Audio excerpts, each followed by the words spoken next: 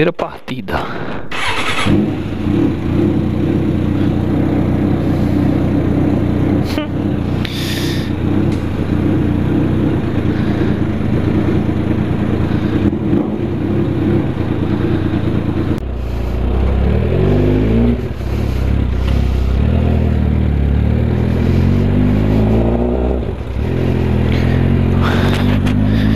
Vamos treinar, puxa esse ferro.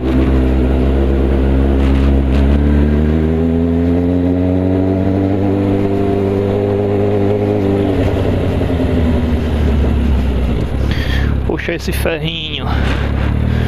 Eu ia treinar esse final de semana lá na Belos, aí nem rolou.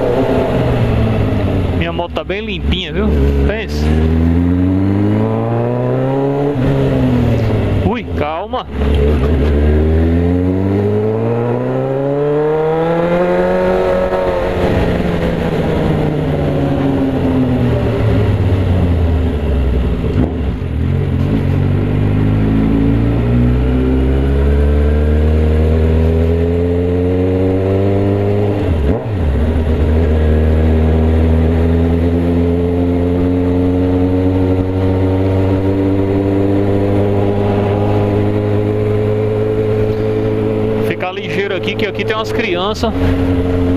Porque fizeram uma parada aqui pra caminhar, né? Aí tem que ficar ligado aqui, que a galerinha vem caminhar aqui, porra, aí é foda, cara. Dá uma chamada aqui, bate em alguém, ó, a bosta, né? É.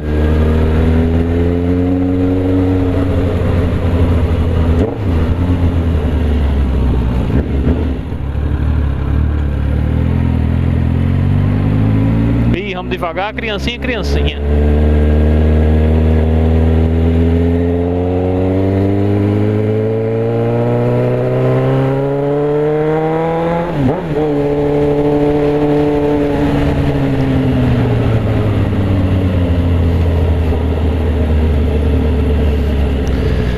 Criancinhas, criancinhas. Eu não sei se. Ixi, ali tá cruel. Para perto da máquina quente do Romário.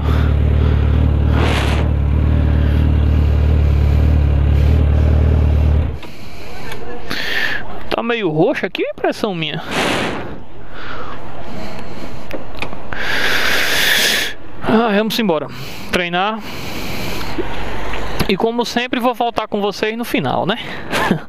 Olha como tá suja a bichinha. É assim mesmo. Simbora, simbora, simbora. Ei, Laie. Paraíba, gasolina 5 e... 5 e quanto, senhor? 5 e 80 e... 5 e 70 e pouco, a 5 e 80 e pouco. Aí no Rio Grande do Norte não. Rio Grande do Norte vamos bagunçar. Gasolina no Rio Grande do Norte. Seis e bonequinho. Diga aí. Ah, meu Deus do céu. Ai. Esperar esquentar a madame.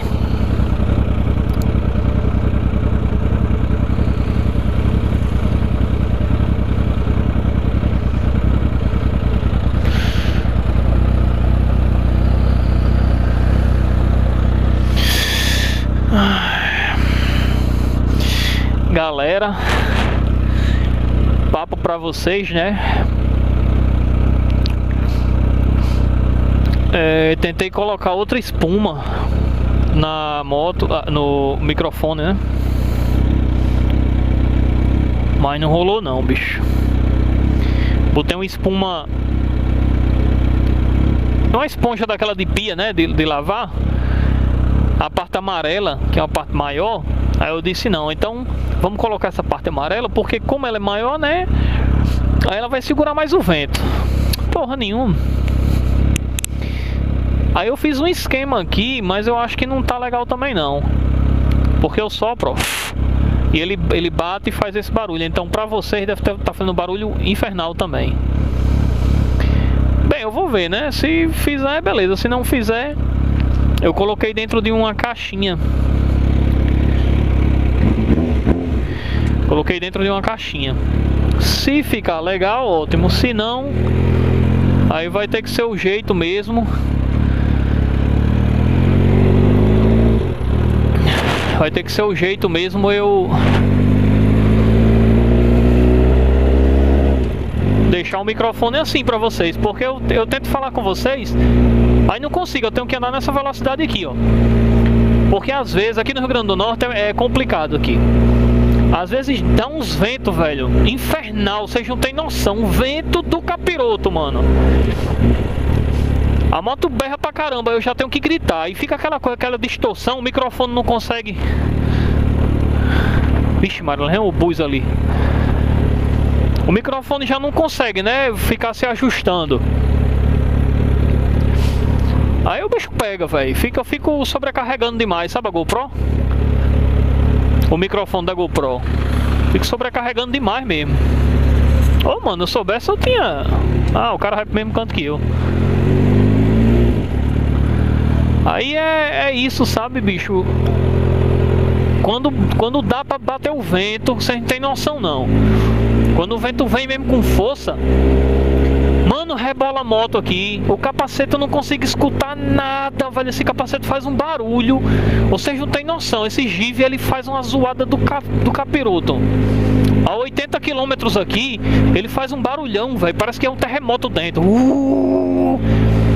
Aí eu tenho que gritar, é chato, velho. Agora é foda. Eu tinha dois capacetes massa, né?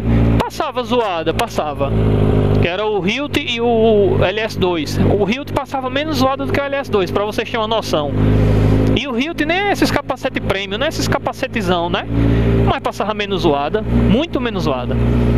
E era um capacete que quando eu atingia alta velocidade, ele, ele levantava aqui assim, ó. Aí era show, mano. Aí era show. Não ficava forçando a cabeça para baixo assim, ó. Já esse aqui, quando eu boto uma velocidade mais alta, aí ele fica forçando a cabeça para baixo. Se bem que agora eu mexi na GoPro, né? É, a GoPro tava bem aqui assim, ó. Tava lá na frente a GoPro.